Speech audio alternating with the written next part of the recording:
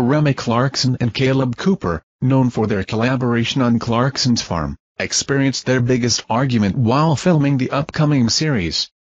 Despite occasional disagreements, they maintain a strong friendship and bond.